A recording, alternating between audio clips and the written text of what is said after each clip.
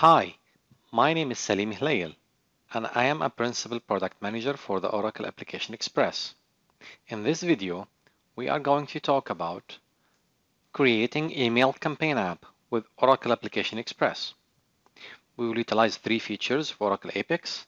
We will create an interactive report and utilize its filtering capabilities. And then we will have an email template that we will be using to send emails to our customers. And we will be doing that using an API called apexregion.openQueryContext. Let's start by creating a data model for our email campaign application using QuickSQL tool. We will go to QuickSQL Workshop, Utilities, QuickSQL. We will copy a few lines for QuickSQL, which will allow us to generate SQL statements efficiently. I'm not going to explain the syntax for the QuickSQL code here, but you can refer to my blog post mentioned in the description for further useful links. Now, we will go to Settings and we will create object prefix cust. Since my database is 18C, I will change the compatibility property to 18C. Then I will hit Save Changes. Look at the SQL code generated by that quick SQL. We will save our SQL script. We will give it a name customers. Then we will review and run our generated SQL code.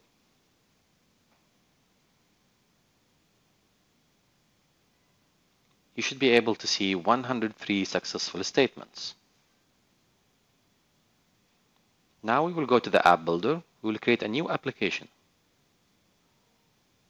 We will give it a name, email campaign, and we can change the appearance to red, which I like.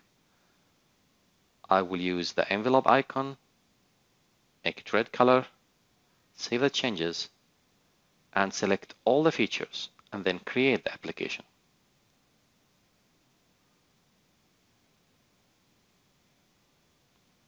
If we run our generated application now, it will be basically empty. Let's spice it up by adding a region. We will create a region called Interactive Report.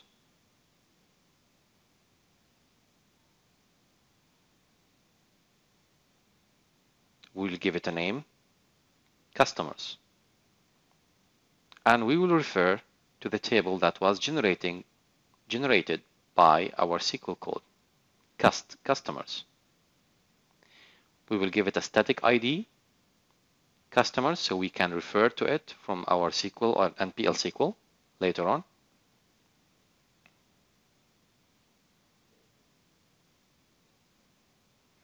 We can hide few columns that we don't want to see, like the ID.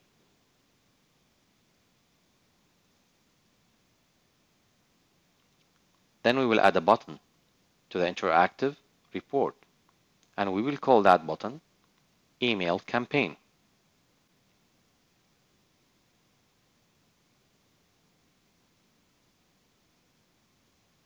If we run our application now, the page is populated by the interactive report and that button. We can filter for the gender, marital status, and country. It will be great if we can target those customers for our campaign. Let's now create an email template. We'll click on Shared Components, Email Templates, and create email template. We will give this template a name so we can generate a static identifier that we will be able to use later on to call the API.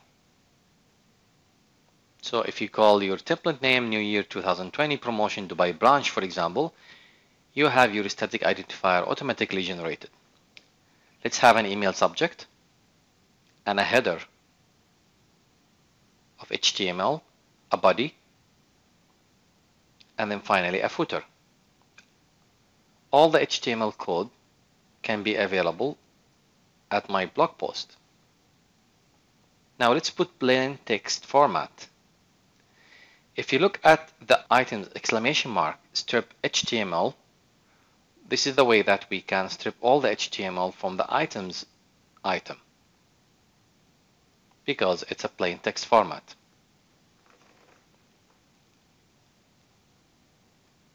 If we open the body,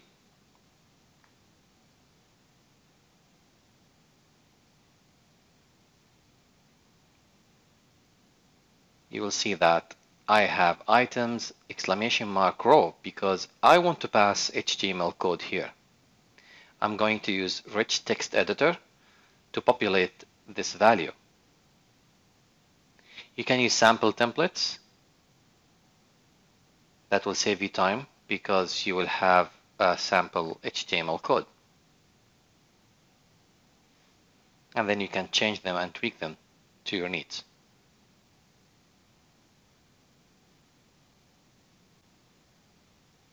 Before creating the email template, let's have a look at the sample API that we can use to call that template. Notice that we'll use a static ID or static identifier. If we go back to the app, let's create another page. We will make it blank. We'll call it send email and we will make it modal dialog.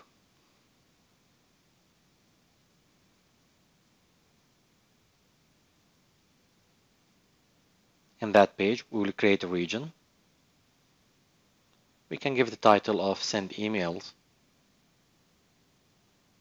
and the template will be blank with attributes.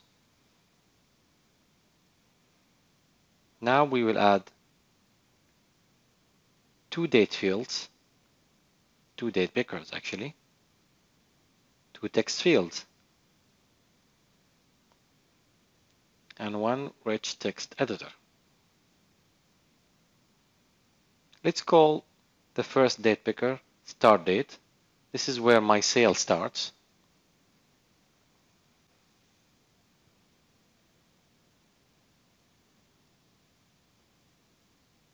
The other one we will call it end date and this is where my sale ends.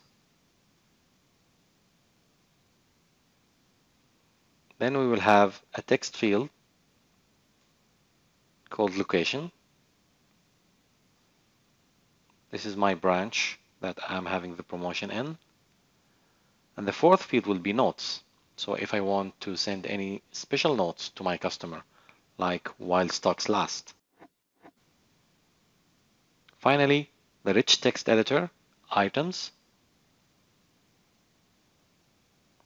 This is where I will pass HTML code to my template so I can have multiple items.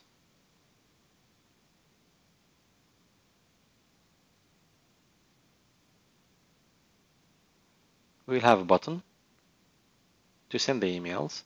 We will call it send emails space are not allowed in button names so we'll use underscore. We will make the button stretch and we'll make it large. Then we will add one dynamic action.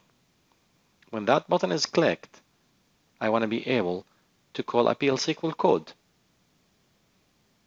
To send an email using the templates that we just created in the application.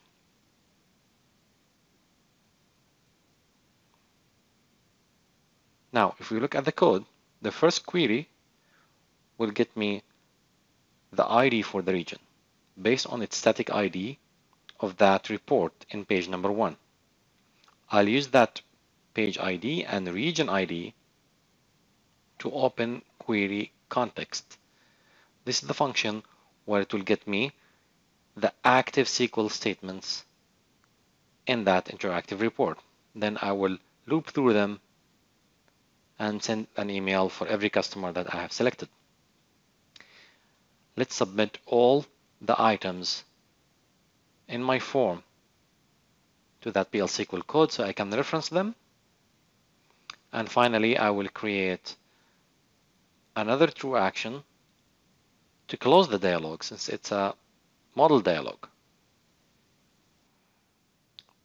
Now we need to make sure that the execution options, fire on initialization is not enabled. We don't want to have these actions initialized when the form is started, so make sure that they are not initialized. Okay, one final tweak we can do is to have the end date next to the start date. So the sale start and sale end will be next to each other. So let's drag it here and then save my form. Now let's go to page one and change the email campaign to point to the page or to the form that we just created.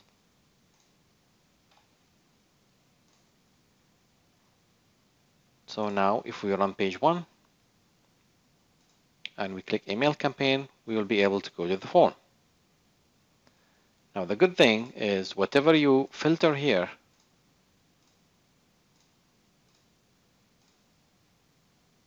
you will be able to target in form 2. So now we can have a start for our sale. That will last almost one week. And the location is Dubai branch. And the note will be while stocks last and the items jeans shirts and shoes then I can click send email